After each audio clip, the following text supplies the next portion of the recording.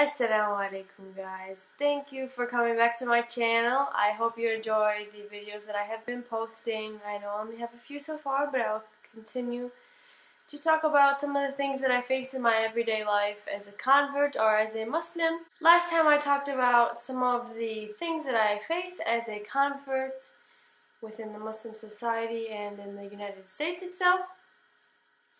This time I would just like to talk about something that would relate to all Muslims in the West, in the United States. I know a lot of people who are very ignorant seem to think that all Muslim women are oppressed. I don't live in the Middle East. The only people oppressing me are the people who don't understand me, the people who treat me bad for wearing scarf, who treat me bad for being Muslim. There's nobody in my religion that forced me to wear a scarf. There is nobody that makes me worried to go outside. The only people that worry me to go outside is racist people and ignorant people, and I completely blame Trump's rhetoric. I am an independent. I studied political science in college. I was born and raised a Republican.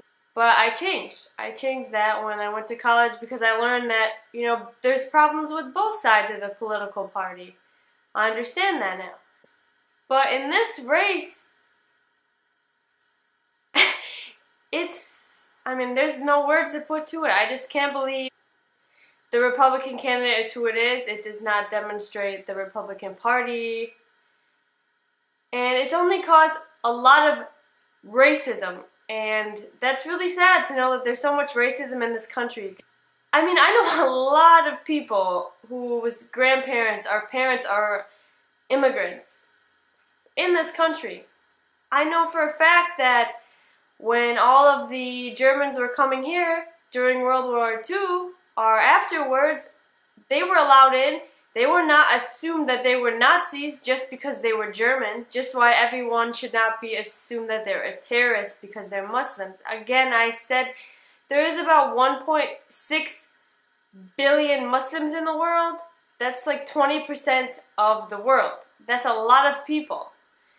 To think that every single one of us is a terrorist is a really ignorant and not intelligent thing to say. As you know, yesterday there was a imam and his assistant was killed in Queens, New York City. To me, that is just crazy. Now, I should just assume, I should assume that all Christians and all white people are just out to kill me. Because of what happened. That's how you guys look at it. Because one bad person does something and they say that they're Muslim, even though they do not act like they are Muslim. I'm supposed to represent all of them? So I expect every now American who is not Muslim to say sorry for what they did. Why can't you condemn what happened in New York City? Why do I have to condemn something that like 0.0001% of the world does? Why do I have to condemn it when when you don't condemn bad things that happen? Obviously I condemn terrorism. Obviously I know that my religion does not follow it. But why do I have to sit and tell you? Why don't you learn about my religion? Why don't you learn about who we are as a people? Why do we have to be the only ones like making the extra effort into trying? Just because the media made our religion look so ridiculous and horrible, we have to fix it because the media makes us look bad. Because we are not white, because we're different, we are a target in the media. How is that fair? So a few weeks ago, I wrote a poem and I would like to share it with you. I do write a lot of poetry, I do a lot of spoken word. So here it goes. My oppression. It is not you.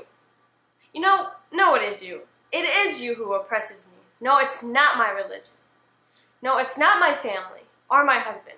It is you who is the oppressor. It is you who assumes you know me just by looking at me. It is you who is judging me with your stares. It is you who doesn't try to understand me. It is you who does not know I was born in this country.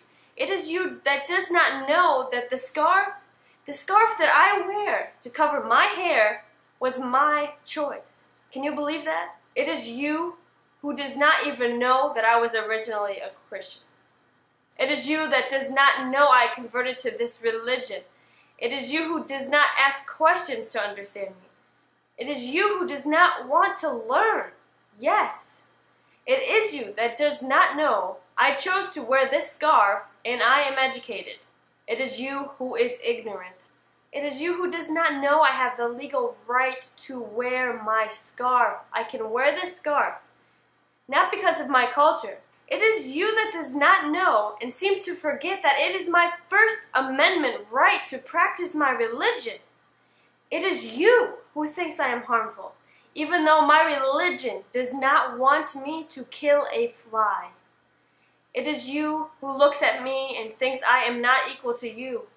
It is you who is wrong, but it is you who can change. It is you who can look at me as an equal, as a colleague, as an American. It is you who can ask me questions. It is you who can attempt to understand me. It is you who can smile at me and not be scared. It is you who can stop assuming. It is you who can stop believing everything you see in the media. It is you who can stop oppressing me. It is you who can use your privilege to help others learn that I am not a bad person. Until then, it is you. Until then, my oppressor will always be you. I wrote that specifically to the people who really think that my religion oppresses me. The only thing that oppresses me is the people who don't let me be who I want to be. Let me live my life. Let me be who I want to be. I'm not going to change for you. Specifically, in my religion, there is a verse in the Quran that says, My religion is my religion. Your religion is your religion. I will never ask you or practice your religion, nor will you ever practice my religion. See what I'm saying here? You can practice what you want. I'm going to still practice what I want. Please stop telling me to take off my scarf. I'm not wearing it because anybody told me to. I'm wearing it because religiously that is what I want to do. I'm doing it for myself. I know that's super hard for you Americans to believe or anybody in the West and Europe too. I wear it by choice. Can you believe that? I know it's really hard for some of you to understand, but I'm going to say it a billion times.